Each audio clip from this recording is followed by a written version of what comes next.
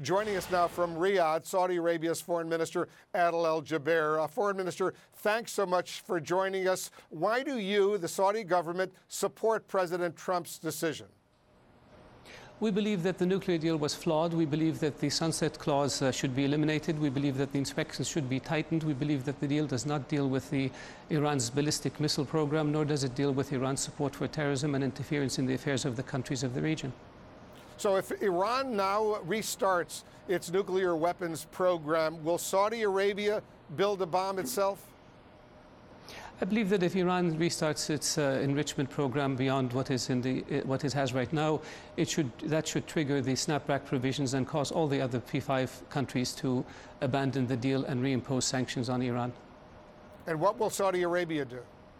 We will do whatever it takes to protect our people. We have made it very clear that if Iran acquires a nuclear capability, we will do everything we can to do the same. And I assume that means you will you will acquire a nuclear capability yourself. That's what we mean.